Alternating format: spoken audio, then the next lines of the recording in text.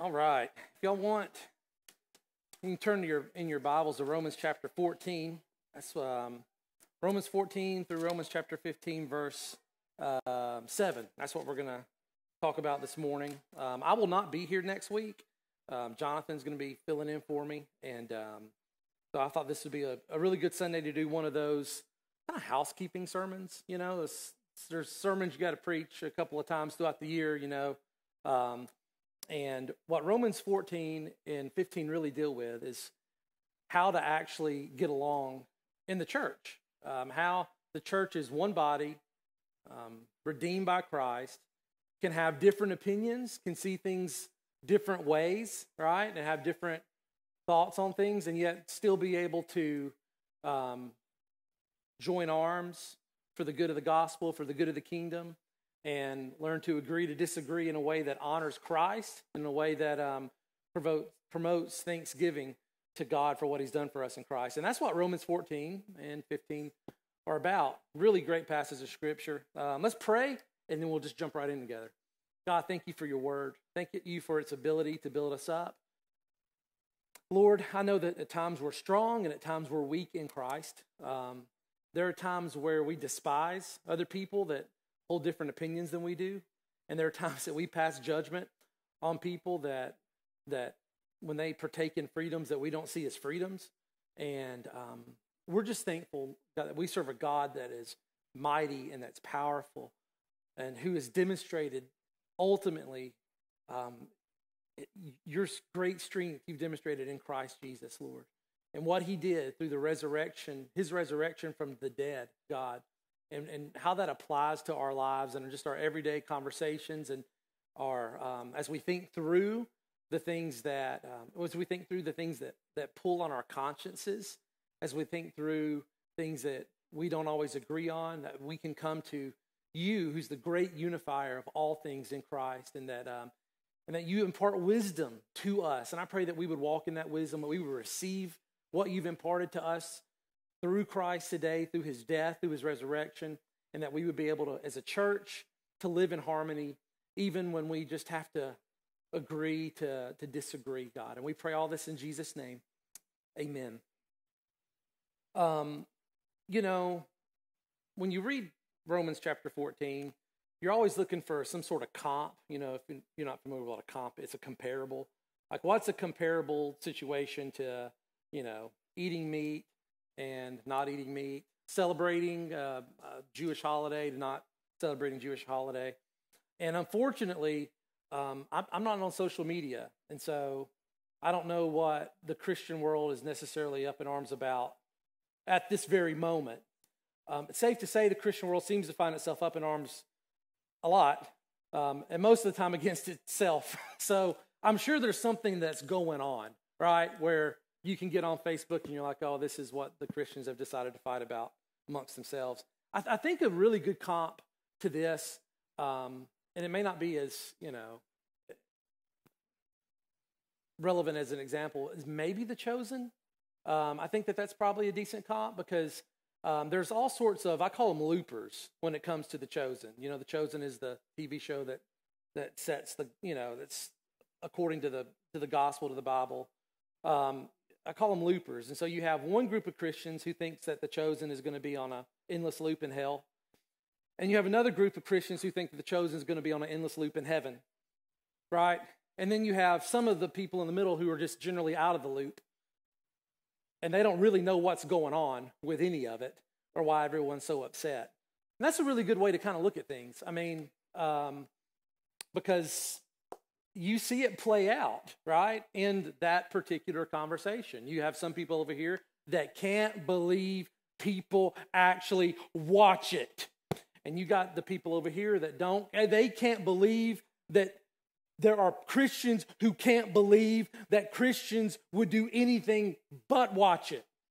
And then there are people in the middle, like I talked to one Christian who said, I just thought the acting wasn't that good, so I couldn't get past the first, the first episode. And that's that's just the way it is, right? And so what what Romans 14 does is it calls us to um, to really Matt mentioned earlier in his communion, you know, you, you don't have to look further than the mirror to really get the answer to, to a lot of things. And that's what Romans 14 actually helps us do. All right? This is what it says As for the one who is weak in faith, welcome him, but not to quarrel over opinions. And so um, we welcome one another, not necessarily with the purpose of changing someone else's viewpoint to match my own. That's not the, that's not the idea around behind welcoming. We're going to welcome everybody here, and then we're going to train them to think the way that we think. And then when they all think the way that we think, then we can really welcome them, right? That's so Paul, that's what he means not to quarrel over opinions. And this is really interesting choice of words here because what he's going to do is he's going to take a theological debate that's happening in the church that people feel really strongly about. And Paul basically says from the outset, well, that's just your opinion. That's a really interesting category to have. We don't necessarily like that category, especially when we believe something with great fervor, right? Especially when we believe something that's the right thing. We don't like it to be our opinion. We would rather it be some sort of maxim or some sort of truth. And Paul enters the conversation saying, We're not going to quarrel about something that's just your opinion. It's just an opinion. And so he enters, he brings in a category that when we're fussing with each other, we don't often bring to the picture. And that's the category of opinion. When we're arguing one, with one another or when we're having some sort of discussion, we bring the category of right, wrong, innocent, guilty, offended, offender, right? We bring all those categories. But there's one that we don't usually bring, and that's the category of opinion. It's one of the first ones Paul brings up. We're, we're talking about opinions here. And what he says next is remarkable. One person believes he may eat anything, while the weak person eats only vegetables. Let not the one who eats despise the one who abstains. Let not the one who abstains pass judgment on the one who eats, for God has welcomed him. Who are you to pass judgment on the servant of another? It's before his own master that he stands or falls, and he will be upheld, for the Lord is able to make him stand. So the argument's really concise, it's packed in there, and it goes pretty much like this. Um, you know, we're, we're, talking about ceremonial laws of, of purification and, and, those things. Um, it, it's remarkable. There's, there's a, a massive migration that's occurred with the advent of the gospel right? From ceremonial law code to the conscience of the individual. And it's, and it's, it, is, it is a massive shift because you look at other world religions and they mandate things like what you can eat and what you can drink, what is clean and what is unclean, what holy day you celebrate, and when you celebrate it right? That, that's, that's religion 101. If you've taken a survey of world religions course. And what, what Paul is pointing to is, here is a migration from, from that type of religion and way of thinking to a matter of the heart, uh, uh, to the matter of personal conscience, to the matter of having a, com- a conviction about something that's right or wrong. And he's going to he's going to delineate that a little bit further as, as, as, it, as it goes on. But the first thing he wants us to know is number one, we have an opinion, and number two, we don't really have the right to judge our beloved who just love the chosen. They're not your servant. That's what Paul would say. They don't answer to you. It's not before you that they stand or fall as you're, as you're, you know, like you're the judge or the, the harbinger or arbiter of truth, right? That's, they serve someone else. We all do. That's the first point Paul makes is that, you know, we, we got to get ourselves in the right place here. You know, we're, we're acting like a lawgiver that states things from above that are facts, right? Like, don't listen to Bethel, they're bad. Bethel equals bad. That's an opinion. That's an opinion. And, and and he says, look, if we're going to talk about this, there may be a better, best category. There may be a, I, I like those categories better. Helpful, more helpful, least helpful. I think those categories are a lot more helpful than equals bad, right? And so Paul says, hold up a second here. It doesn't take long. It, there's not much space between giving your opinion and being a judge or a lawgiver. I mean, it's just like this much difference. It's so close. And he says, we, we got to hold, slow down a second. The, the, we're not to pass judgment on the servant of another. It's before his own master that he stands or falls. And he'll be upheld, for the Lord's able to make him stand. One person esteems one day better than another, while another esteems all days alike. Each one should be fully convinced in his own mind. This is this is a this passage right here is flabbergasting to me. It's remarkable. It's just take Judaism for example. You you don't get through the you don't get through the Torah, right? You don't get through the Pentateuch without understanding that there are festival days that are to be celebrated, and we know when they're to be celebrated. And if you don't celebrate them, you violate the law, right? I mean, when Paul's writing this letter, I mean, we're, we're probably what, maybe 30 years oh, past that? In the history of like religion, well, you know, Christianity is a, is a Jewish religion early on. So imagine that you're told, right, that you have to esteem a certain day. It's part of the fabric of who you are is part of being a Jew. So not only is it part of your religion, it's part of your the fabric of your of your of your moral compass and your in your identity as a group of people. And then you have someone saying, well, yeah, some people esteem, esteem this day higher than the others. Be fully, what matters the most, however, is not whether or not you esteem one day higher than the next, it's that you be fully convinced about whether or not you're going to esteem it in your own mind.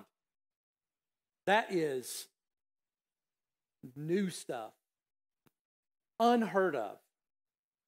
That's why I talk about the migration from the law, right, to the Holy Spirit and the gospel that's written on the heart. That, that's one of the mind blowing things about Christianity as a religion.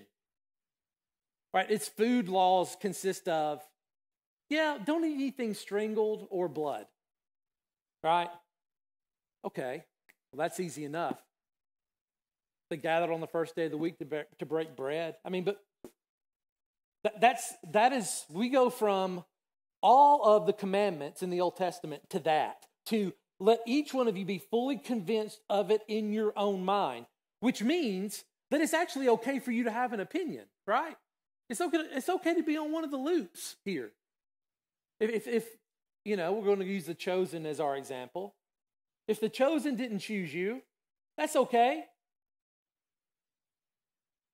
Have really good reasons as to why you're not going to do it.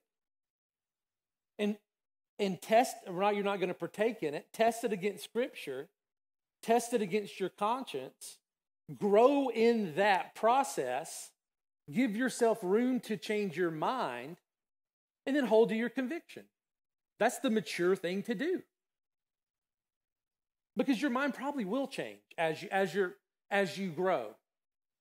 And, and it's that's one of the wonderful things about Christianity is, is it gives room for the Holy Spirit in, the, in, in someone's own conscience to work in harmony and concert with itself to actually progress and to grow. And so you're not set with a set of. It's different for the person. Believe it or not. That's what this is the conclusion Paul's going to come to as we finish reading. It's different. For some people, man, it's eat the meat all day long. And some people don't need to touch it. It just depends. Right? That, that's the, it depends on that person.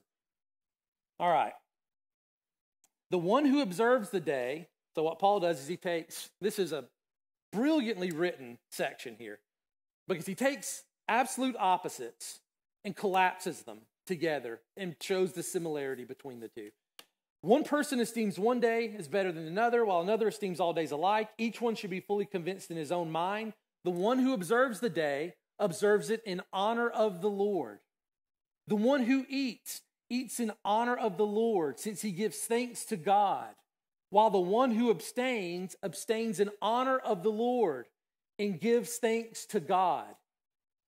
And so, what we have here is something that's more important than whether I watch it or don't, whether I eat it or don't, whether I celebrate it or don't.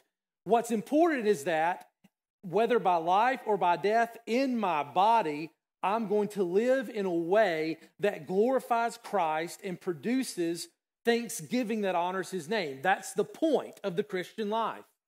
It's not whether we do or don't, it's, it's whether or not we can experience a oneness or in a wholeness with our Lord that, that manifests itself and demonstrates itself in a manner of thanksgiving and of praise and of a life that seeks to honor Christ in, in our doing or in our abstaining. That's what matters.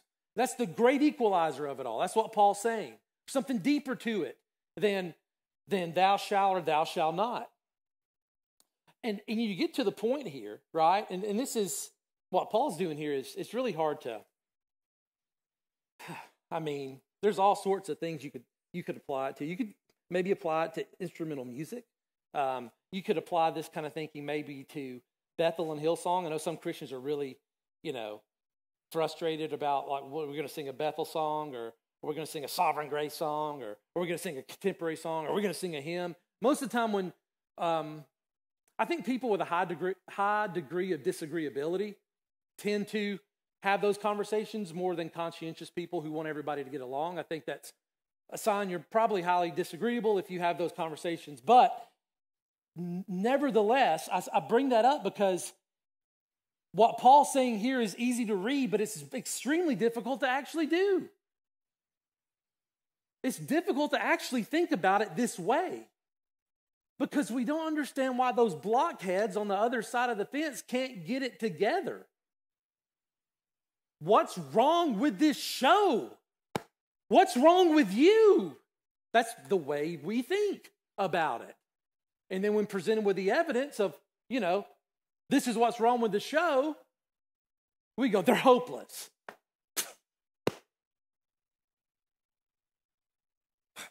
right? But we don't think about it the way that Paul does. It's easy to, it's easy to read. But what Paul is saying here is that you can, on some issues, now we're not talking thou shalt not murder. You can't come down on the other side of the fence of that one.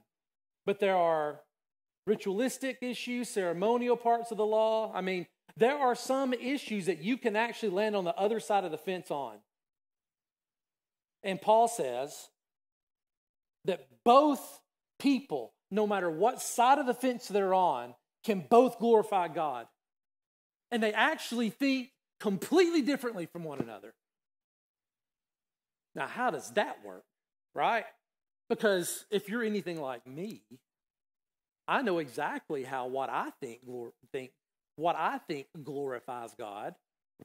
And if you think like I do, then it's really easy for me to go, and you do too. Right? What we really have trouble thinking is how in the world can a worship band that releases glitter from the ceiling and call it the gold dust of God's glory, how can they do it ever? Well, that's a good question, right? What? And Paul says,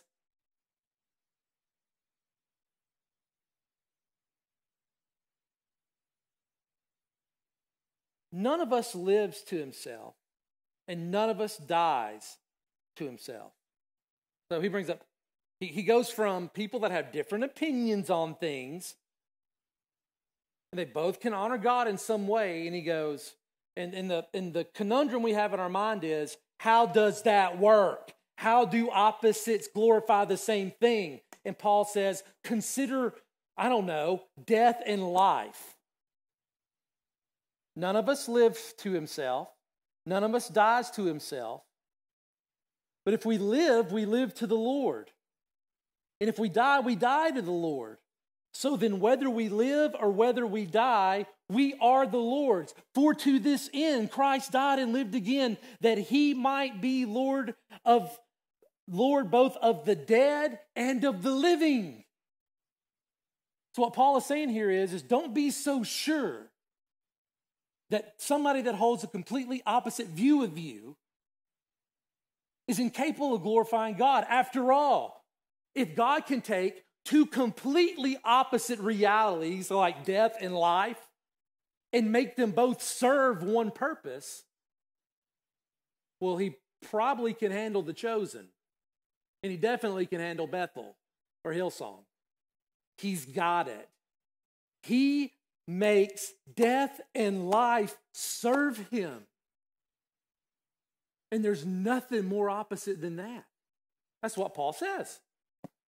And so, what Paul does is it's really remarkable. He takes his theology, because that's what we're talking about here the death and the resurrection of Jesus Christ, and he brings it into the area of praxis or practicalities and goes, This actually does impact the way that we can get along with one another. As long as we can remember it. For to this end Christ died and lived again, that he might be Lord both of the dead and of the living. Why do you pass judgment on your brother? All right, so he's talking to the, these are the anti chosen people. Because that's what, that's what the, the people that are anti don't do it. They're, they're called weaker by Paul, and they are called, they are said to be more likely to be judgmental. Why do you pass judgment on your brother or you? The guy that gives money to the show every month so that they continue to create it. Why do you despise your brother? and then he says, There's a great commonality here. Ready? He takes us all somewhere. For we will all stand before the judgment seat of God, for it's written, As I live, says the Lord, every knee shall bow to me, every tongue shall confess to God. So then, each of us will give an account of himself to God. You answer, here's the way, so here's the way it works. I'm going to answer for me. And Jackson's going to answer for Jackson. Right? And Jonathan's going to answer for Jonathan. And when you can actually get yourself in front of the judgment seat, something really remarkable happens. Namely, when you can put yourself in front of the judgment seat of Christ, you, you actually get out of his judgment seat. And that's a really good thing to remember. Another way to put it is why do you try to get the speck out of your brother's eye when you have a log in your own? First, remove the log out of your own eye, and then you'll see clearly to remove the eye out of your the speck out of your brother's. It's the same concept, right? It's this, the, the teaching is identical. It's all right, let's get the right person seated in the right place. And I'll let the Lord sit there, and then I'll come over here. And there we go. And then we start looking at our own convictions. That's where we should be. Being fully convinced in our own minds is actually enough work in and of itself. Because it takes a lot of work to be convinced in your own mind of something. And he says, let's do that. Therefore, since we're all going to give an account of ourselves to God, let us not pass judgment on one another any longer. This is chapter 14, verse 13. But rather, we're going to decide something different. We're going to decide never to put a stumbling block or a hindrance in the way of a brother. Oh, now that's different. So here's what it means. You know, and I use the chosen. We did that for a small group a while back. We actually had a non chosen small group. So I had other small groups were for the chosen people. And then we had a non chosen small group. And we did that so that we didn't put a stumbling block or hindrance in the way of a brother. And it had nothing to do with what we thought we knew as leaders of the church or as elders. I know and am persuaded in the Lord Jesus that nothing is unclean in itself, but We do know this it is unclean for anyone who thinks it's unclean. Which means that instead of deciding, you know, it's not my job to figure out why my brother is a whatever, you know, slow, obtuse, ignorant, whatever you want to call it. That's, that's not my, that's it's not my responsibility to figure out and to point out who needs changing around here. It's my job to, to know where they are. Okay, I know that about you. What do I do with that knowledge then? I decide that I'm not going to put anything in your way to make you stumble. That would include offering something for the entire church and then encouraging and berating the brother that's offended with the thing or sister that's offended with the thing, going, Well, I just don't know why you can't get over this. I mean, it's just nothing. I just think this is that Paul says, All right, we're going to decide not to do that. We're going to honor someone else's convictions. Oh, okay. If your brother is grieved by what you eat, uh, I'm sorry, I know I'm persuaded in the Lord Jesus that nothing is unclean in itself, but it is unclean for anyone who thinks that it is. That's wild stuff right there. The law told us what was unclean. Now, the law sets up shop in someone's heart. And if it declares it unclean to the person, it is thus unclean. That's wild. That is, I don't think we grasp how unique this is in our religion. For if your brother is grieved by what you eat, you are no longer walking in love. By what you eat, do not destroy the one for whom Christ died.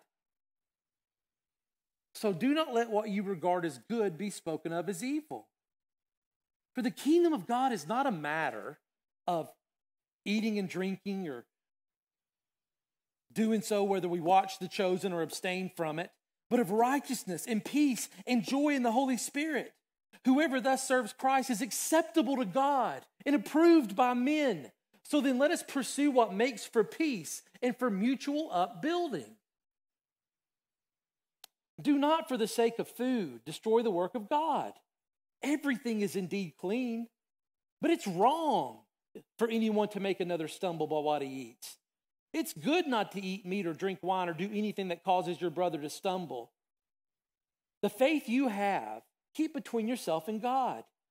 Blessed is the one who has no reason to pass judgment on himself or what he approves. But whoever has doubts is condemned if he eats, because the eating is not from faith. For whatever does not proceed from faith is sin. So there is the barometer there. Can you do it from faith?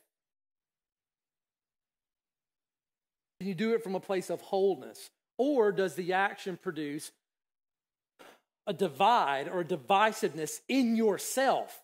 That's where the whole thing, that's where Paul is telling everyone to look. Are you okay with it? Are you okay with it? It doesn't matter if Mary Lou is. Are you? That's what matters. Why are you okay? Why are you not okay with it? Where does it come from? Accept, can you accept it as it is?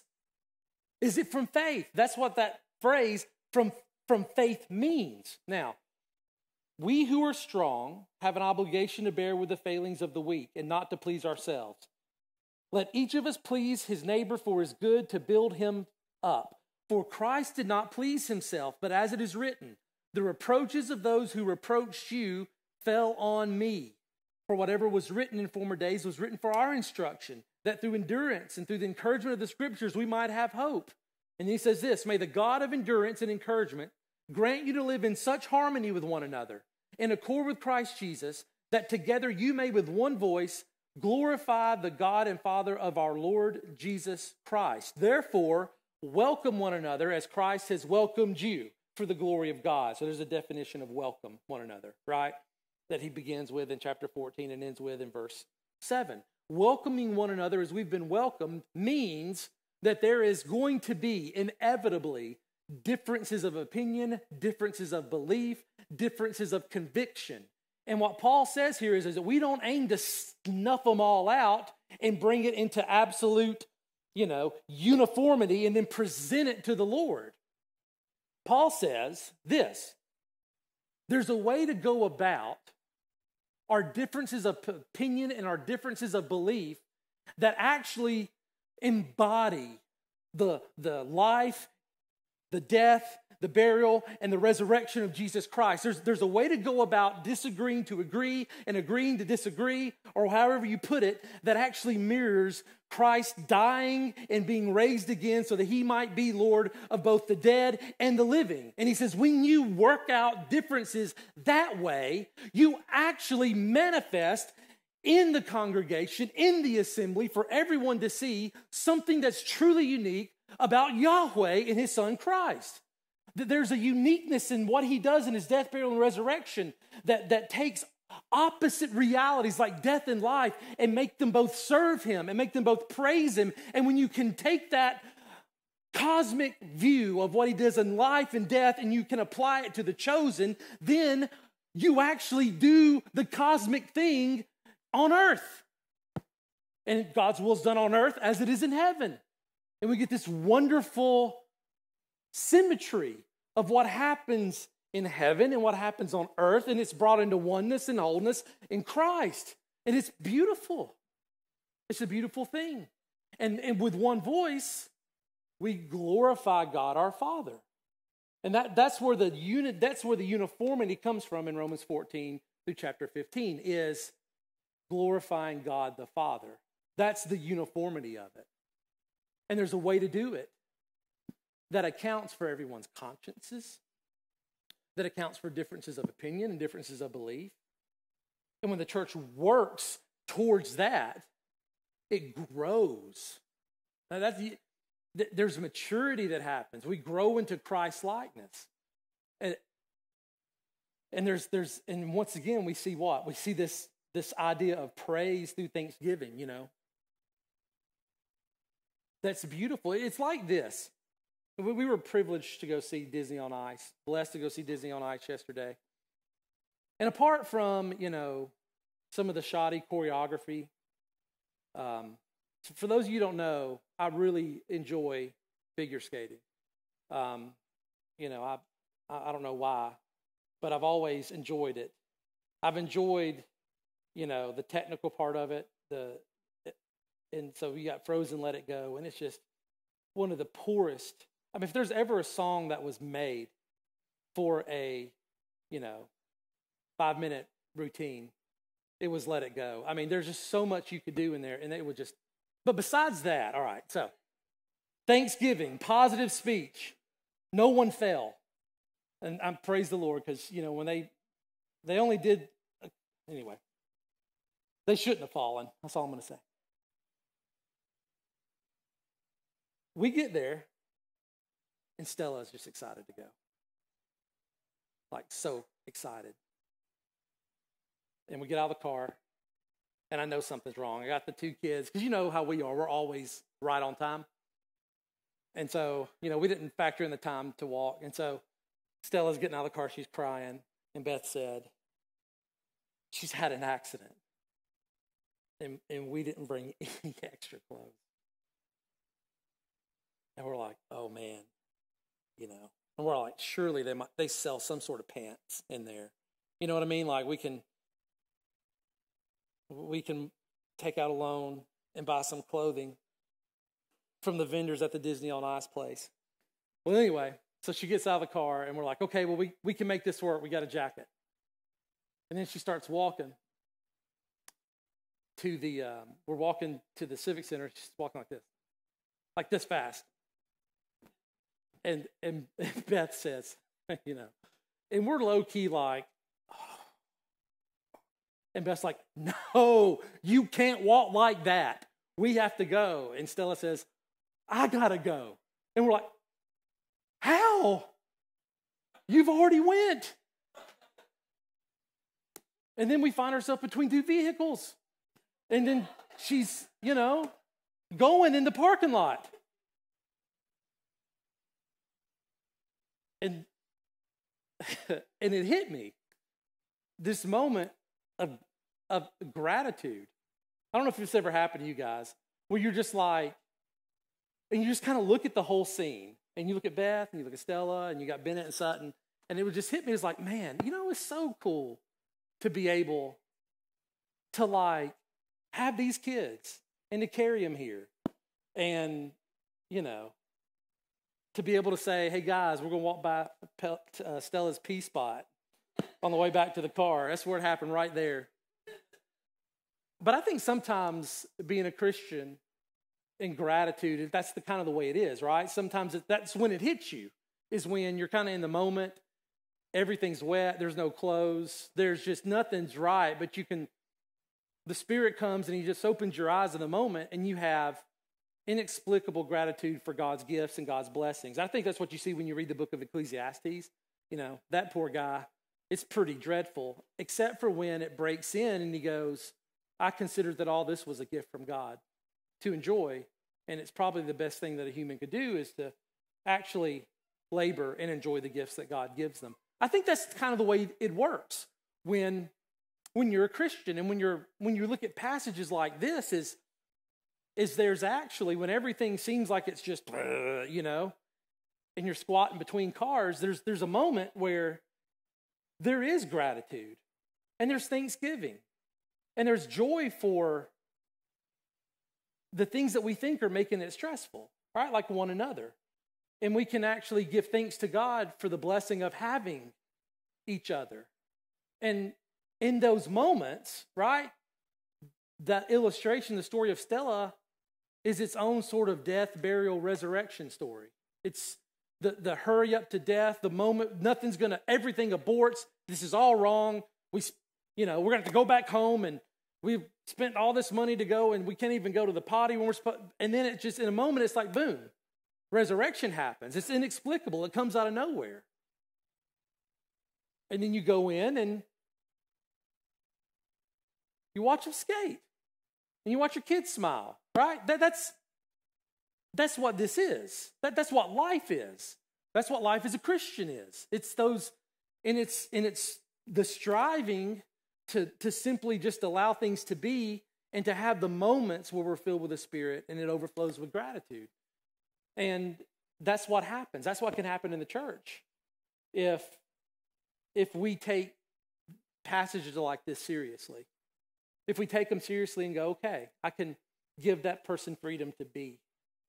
And and and suddenly something takes its place there. The, the law that we want to impose from Sinai to get everybody to think what they should think, bunch of blockheads. Why can't they do anything right? Like that actually begins to manifest itself in the people as the Spirit works and, and as it's the gospel is lived out in their lives. And it's a beautiful, beautiful thing. I want to commend you, church, for just being who you are, for volunteering, for loving this place. We are blessed to have a lot of people here with different backgrounds former Catholics, former Baptists, former Methodists, um, former Church of Christ people. Um, and, and some of you still may hold close to some of those affiliations. So I say former Baptist, you might think, well, I'm basically still a Baptist. I might say former Church of Christ, I'm basically still a Church of Christ. But I want to commend you all for being able to be in one space, right? Because we have some moments where the kids soil their pants and you maybe wouldn't experience those exact moments if you were, you know, in a uniformity kind of situation. But this situation is one of those where there's a deep reliance on the Holy Spirit, on his transformative power, on um, his ability to comfort and exhort and to encourage and to, and to bring joy. And I just want to commend you guys for being so kind to one another and being loving to one another and growing in this and doing this relatively well. Um, Christ died It's one of the benefits, the one of the blessings of his bloodshed is that he died for this to be a means by which we grow. We grow in our you you know our, our unanimous praise to the Lord, and as we just maybe start here and here, and we get closer and closer as we go into the one who's the head, right?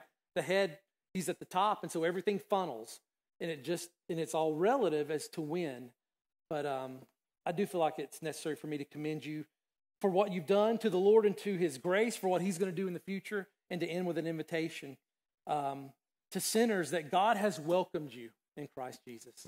That's one of the most jaw dropping realities is that somehow God welcomed me in Christ. You can't find anybody more different from God than me. But the message of the gospel is that, is that in Christ, God welcomed me. While we were still sinners, Christ died for the ungodly. That's remarkable. That's a remarkable thing he's done. And what it means is there's, through repentance and faith, there, there's nothing that's now separate, that sep- there's nothing that, you know, once you come to Christ, there's nothing that separates you from him. All the things that were in the middle that made you different, that made you think, well, he'll never accept me. He'll never love me. He'll never forgive me. He'll never give me another chance. Why would he entrust me with this? All that's removed from by the cross, by the power of his blood. it's removed as far as the east is from the west. Their sins are drowned in the bottom of the sea, and all that's left is this um, companionship and fellowship with God that we get to experience as Christians. And if you're not a Christian, I, my, my invitation and my hope and prayer is that you'll become one, that you'll repent of your sins, and that you'll, you'll believe on Christ Jesus and receive eternal life in a place um, an inheritance among those who are sanctified uh, by grace through faith in his great name. Let's pray together. Lord, we're thankful for your word and its ability to build us up. We pray that you would help us live it in our lives, that uh, we would be submissive to it, that it would be transformative, that it would um, transform our hearts, and that we would all, even though we're different, even though we don't all believe the same thing, we, we would all, with one voice, glorify you. And we pray all this in Jesus' name. Amen.